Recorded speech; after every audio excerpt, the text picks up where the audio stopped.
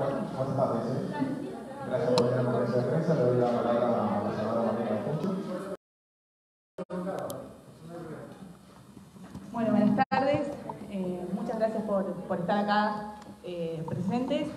Eh, estamos con el ministro de Desarrollo Agrario, Javier Rodríguez, la subsecretaria de Agricultura, Carla Siem, el presidente del bloque de senadores del Frente de Todos de la Cámara de Senadores de la Provincia de Buenos Aires, Gervasio Bozano, y José, nuestro precandidato a, concejal. Estuvimos hace un momento eh, con productores de aquí de, de la zona, con eh, integrantes del, CEPTE del Chajá, así que estuvimos llevando adelante una, una, charla, intercambiando un montón de inquietudes que tienen, que tienen todos, inclusive también tomaron conocimiento de distintos programas que tiene el Ministerio y demás, así que les agradezco por estar hoy acá y le doy la palabra a, al ministro para que les pueda, les pueda comentar un poquito más en detalle de todo lo que ha sido la bueno, jornada. Ministro, buenas tardes. ¿Qué mensaje le deja a los productores o qué le transmitieron ellos como inquietudes? Bueno, ¿qué tal? Buenas tardes. En primer lugar, eh, para mí es un gusto estar de nuevo acá en 9 de julio. Agradecerle, por supuesto, a la senadora eh, Male este, y, y, bueno, y a todos los que me están acompañando acá en, en la mesa. A Gervasio Bozano, a Carla Seaín. Eh, bueno, estuvimos con una, en una reunión con productores y productoras de 9 de julio. Eh, la verdad que una reunión interesante donde estuvimos mostrando los avances en el programa de desarrollo rural bonaerense que anunció el gobernador Axel Kicillof y también mostrando las distintas líneas de trabajo que venimos teniendo desde el inicio de la gestión. Eh, siempre, por supuesto, que el contexto de pandemia ha puesto de relieve el tema de la salud y eso ha quedado muy claro, pero una premisa fundamental que nos plantea siempre Axel es que nosotros tenemos que seguir trabajando en este contexto muy difícil para potenciar la producción y potenciar el trabajo. Y hoy lo que estamos viendo, con, un año y medio de, de gestión, casi eh, un poco más, es que efectivamente se han ido lanzando en cada momento políticas específicas para fortalecer la producción, el trabajo y que bueno, en este contexto donde a partir del proceso de vacunación se empiezan a ver otras perspectivas, eh, también en el sector productivo se está viendo eh, perspectivas mejores. Se están observando una, reactivación en los distintos sectores y el sector agropecuario en particular está mostrando también un fuerte dinamismo. Sabemos que el año pasado ha podido mostrar eh, su potencial, ha tenido resultados eh, sumamente interesantes en materia productiva y estamos convencidos eh, de su enorme potencial también este, y en general en la provincia. Estuvimos, le quiero terminar de contestar una cosa más, la verdad que fue un intercambio muy interesante sobre los programas vigentes, sobre los avances que se han ido eh, dando, sobre, por ejemplo, el programa de caminos rurales, y sobre todo se habló mucho sobre la línea de financiamiento. El Banco Provincia volvió a prestarle al sector productivo y sobre eso eh, nosotros adicionamos líneas específicas del Ministerio de Desarrollo Agrario que, que brindan a veces una tasa preferencial o en otras veces, en otros casos directamente un financiamiento específico y estuvimos eh, hablando sobre esas líneas de financiamiento. Eh, pido un para ordenar eh, que nos presentemos en medio, hagamos una sola pregunta y después vemos una pregunta en una segunda. ¿Qué tal? Silvia Torres, desde el Regional Digital de Amanecer. Eh, bueno, hoy sabemos que se reunió con eh, productores ovinos y es una actividad productiva que crece en la provincia de Buenos Aires y uno de los cuellos botella que tiene el sector ovino tiene que ver con la industrialización de esa carne. Eh, ¿Cuál es el mensaje para estos productores? ¿Qué está trabajando este, este ministerio al respecto? Bueno, el primer, el primer mensaje es un mensaje general, eh, pero que por supuesto los incluye a estos productores y es que a nosotros nos interesan todas las producciones. Eh, muchas veces observamos que determinadas producciones habían sido dejadas de lado y para nosotros son fundamentales cada una de las producciones porque cada una de las producciones son generadoras de, de empleo, de desarrollo local, de producción, de agregado de valor y en función de eso nosotros vamos analizando las necesidades de cada una de las producciones y definiendo las políticas públicas específicas. En el caso de la producción ovina, eh, vos conocés que hay vigente un programa conocido como Ley Ovina, es un programa del gobierno nacional que permite la presentación de proyectos y la asignación de financiamiento a tasas también preferenciales. Ese programa el año pasado ha tenido eh, muy buena aceptación en la provincia de Buenos Aires. Nosotros le dimos mucho, mucha difusión, eh, mucha trascendencia y lo que hemos hecho es que en realidad al superarse las presentaciones, eh, lo previsto por la ley nacional, hemos generado en paralelo bajo el mismo esquema a nivel provincial. Es decir, que hoy podemos hablar, más allá de que no haya una ley vigente, de un programa provincial que fortalece los programas ovinos eh, bajo la misma eh, regla general que tiene la ley ovina. eso nosotros ya lo hicimos el año pasado y con proyectos que financiamos este año y lo vamos a estar haciendo en la, en la nueva tanda. la verdad que vos señalás un elemento que es muy importante, que es este, las distintas dificultades en cuanto a la industrialización y precisamente lo que estamos haciendo es poniendo el eje en eso y que los proyectos de financiamiento tengan que ver con la industrialización. Eso va a permitir que cualquier productor que opte por hacer ovinos eh, tenga distintas alternativas a donde trasladar su producción, que esa es una de las dificultades que nos transmitían parte de los productores eh, dedicados a la producción ovina hoy y que bueno, que nosotros la estamos abordando a partir de este programa específico. Sí, ministro, Adriana Cantú, en nombre de eh, Somos 9 de Julio para Suma Productora.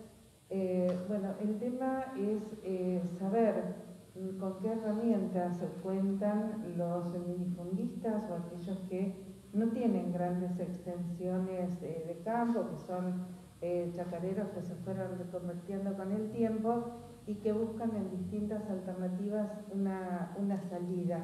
Eh, ¿Qué les ofrece el campo en marcha en la provincia? Bueno, eh, la verdad que es una pregunta interesante. hoy hay un conjunto muy amplio de políticas públicas definidas hacia los productores medianos y pequeños.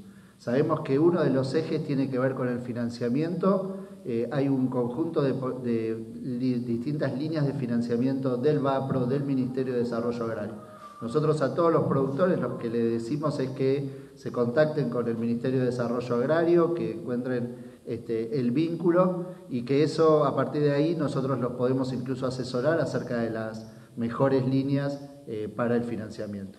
Pero no es la única línea de trabajo, nosotros estamos trabajando muy fuerte en un programa de prevención de venerias, estamos trabajando en un programa de buenas prácticas agrícolas, en un programa de mejora de la calidad del trigo y todos estos tienen siempre la orientación de estar en particular más orientados hacia los medianos productores y los pequeños productores. Eh, la verdad que la provincia de Buenos Aires ha asumido, porque es una idea de Axel eh, muy clara, que tiene muchas posibilidades y hay un enorme potencial en toda la producción agropecuaria en cada uno de los distritos y en la producción de alimentos en cada uno de los distritos y que la provincia tiene que tener en este sentido un rol activo articulando con eh, los niveles locales. Por eso para mí es muy importante también la presencia acá tanto de Maleda Funcho como de José, que es candidato a concejal este, local el 9 de julio, porque eso muestra las posibilidades de articulación entre el nivel provincial y el nivel municipal. Nosotros decimos que la provincia de Buenos Aires está conformada por 135 distritos y necesitamos también que haya una mirada general acerca, coincidente acerca de la importancia de impulsar la producción, el trabajo en cada uno de esos distritos. Por supuesto que eh, todos los que estamos acá en esta mesa tenemos esa mirada coincidente buenas tardes. Mi nombre es Martín Zavala, diario 9 de julio. Quería saber, bueno, que nos resuma un poco, eh, más que nada para la audiencia, eh, a grandes rasgos, el programa lanzado por el gobernador, cuáles son los objetivos y, bueno, hacia dónde se apunta.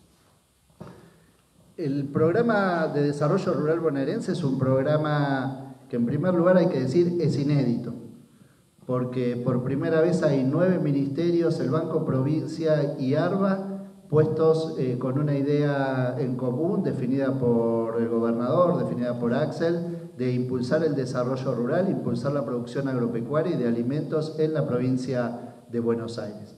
Eh, por supuesto que como programa que tiene nueve ministerios tiene muchísimas líneas, pero para nosotros, y para decirlo sintéticamente, tiene una línea muy importante en infraestructura. Se está llevando adelante una inversión total en este programa de 173 mil millones de pesos y en infraestructura estamos hablando de 116 mil millones de pesos.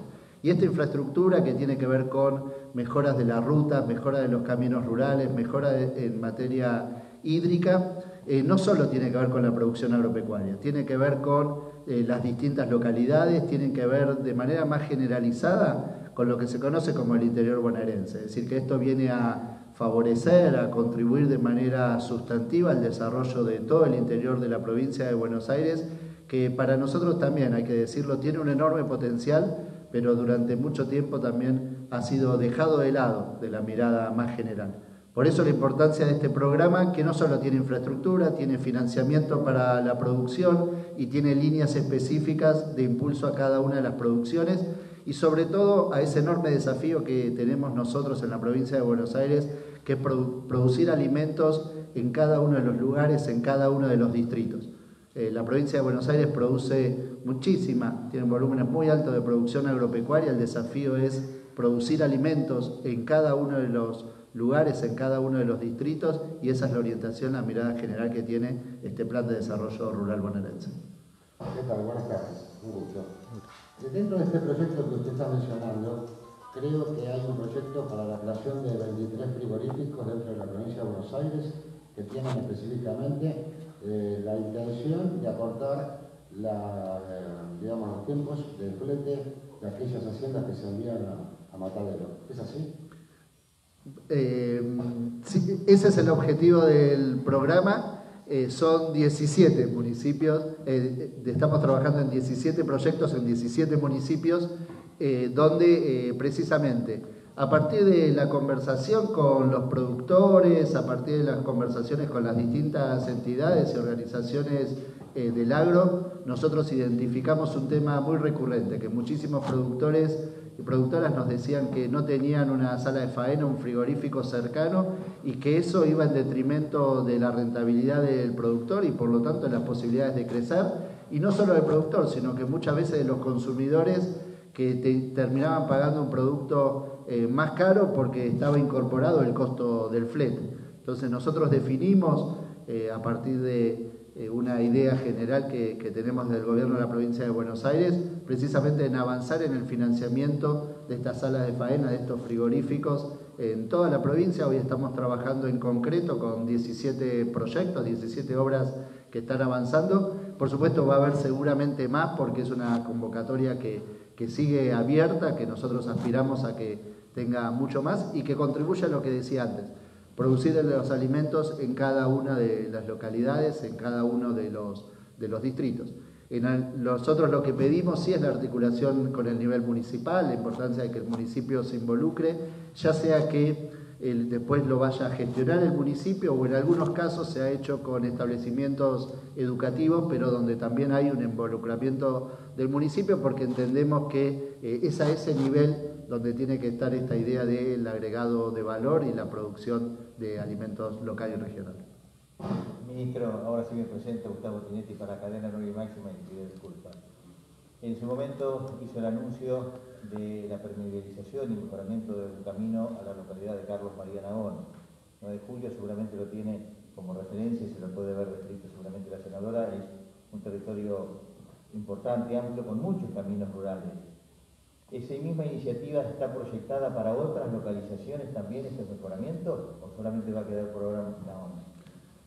Eh, nosotros generamos dos etapas ya de este programa de caminos rurales. Eh, el Camino a Naones fue la primera etapa y está abierta ahora la segunda etapa donde nosotros le estamos consultando a cada uno de los distritos en diálogo con, por supuesto, con las autoridades municipales, pero también con los consejos deliberantes, con los representantes de, de los productores y lo que estamos ofreciendo es que la provincia financia tramos de 15 kilómetros. Es decir, que estamos apuntando a un tramo todavía mayor, bastante mayor, entre el doble y el triple de lo ya financiado. Eh, hay distintos municipios que ya están presentando eh, sus proyectos, así que está hoy del lado de- del distrito eh, generar el proyecto en concreto, pensar dónde puede estar la prioridad y por supuesto está la disponibilidad del financiamiento de la provincia para esos proyectos. Gracias. Bueno, ¿listo? ¿Una pregunta más? Una Vamos. más, una más, ¿puede ser? Eh, ministro, eh, tuve oportunidad de ver cuando salían que eh, estaban presentes eh, el director y referentes del CPT-15 del paraje El Chajá y también de organizaciones sociales. Eh, digo, ¿tuvieron oportunidad de eh, entregarle proyectos? ¿Usted ya conoce si hay proyectos asociativos o otros eh, que tienen que ver con, por ejemplo, eh, los chicos de los comedores, el movimiento Evita, la corriente clásica y formativa, que estaban aquí. ¿Tuvieron la oportunidad de entregarle lo que están haciendo? Sí, también estuvimos hablando de los distintos proyectos vinculados sobre todo a la agricultura familiar, a lo que se suele llamar la agricultura familiar. Nosotros decimos que este es un ministerio que aborda a todos los productores y que por supuesto hay un interés para nosotros especial en la agricultura familiar. Estuvimos conversando de algunos proyectos que ya se están financiando para la agricultura familiar acá en 9 de julio, un proyecto eh, de base agroecológica, es decir, de productores asociados eh, que están llevando adelante una producción agroecológica el 9 de julio. Eh, ese es un proyecto que ya estamos financiando y también se nos presentaron eh, otros proyectos vinculados a la posibilidad de huertas comunitarias. Eh, nosotros estamos financiando en la provincia de Buenos Aires la realización de huertas comunitarias. Nos parece que son proyectos sumamente interesantes en la posibilidad de generar empleo, en la, posibilidad también de brindar un conocimiento y la posibilidad de difundir un conocimiento, una práctica productiva este, y además, por supuesto, de tener un ingreso adicional. Eh, por lo tanto, sí, recibimos esos proyectos y desde ya que, eh, de hecho, estuvimos eh, conversando acerca de la importancia de ese proyecto y de la coincidencia desde el Ministerio de Desarrollo Agrario sobre la importancia de impulsar eh, ese tipo de acciones. Muchas gracias. Muchas gracias a todos. Gracias por venir. Muchas gracias. Con la palabra del ministro Rodríguez.